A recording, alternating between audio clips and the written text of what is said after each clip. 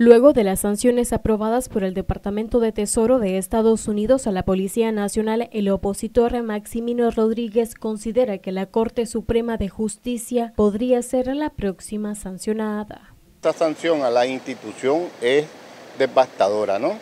Eh, y no solo realmente va a ser la, la policía como tal, porque el Departamento del Tesoro de los Estados Unidos este, en todas partes del mundo tienen sus tentáculos y se dan cuenta con precisión quiénes realmente se ponen al margen de la ley.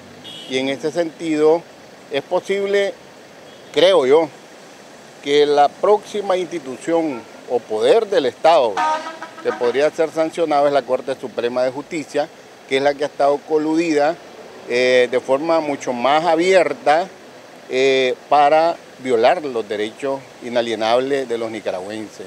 Obviamente el ejército creo yo que será una institución que mientras no quede totalmente claro su posición, si es apegado a la constitución política, entonces se podría ser acreedora de esas sanciones, pero creo que esa va a ser una de las instituciones última que puede recibir una sanción. El restablecimiento de las libertades públicas puede evitar que se continúen aplicando medidas por parte de la comunidad internacional. La forma de evitar más sanciones es obviamente regresando al cauce democrático, eh, respetar la ley, respetar ese pacto social que está roto en Nicaragua y obviamente todo eso significa que deben de haber elecciones libres, democráticas y transparentes, donde se debe respetar el derecho a elegir y ser electo a los nicaragüenses.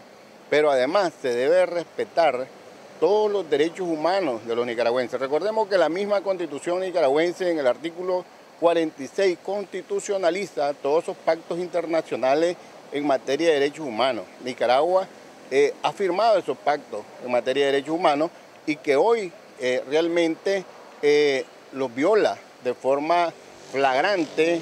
Noticias 12, Anduriña Ortiz.